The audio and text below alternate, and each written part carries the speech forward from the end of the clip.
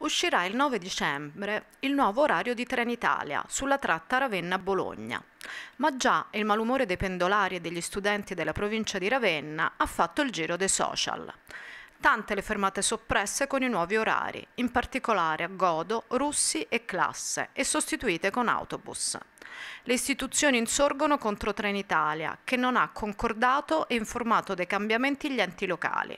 Il presidente della provincia di Ravenna, Michele De Pascale, ai nostri microfoni. Siamo veramente molto molto molto arrabbiati perché abbiamo, avevamo lavorato a lungo con eh, Trenitalia e con la regione Emilia Romagna per un risultato che per il nostro territorio è fondamentale, per il quale ci battiamo da tantissimi anni, che è dividere la linea di Ravenna dalla linea che collega la, la città metropolitana di Bologna, il trasporto ferroviario metropolitano, cancellare dalla tratta di Ravenna tutte le fermate del bolognese che ammorbano eh, la vita dei pendolari ravennati e che rendono la nostra tratta inservibile per, per i turisti.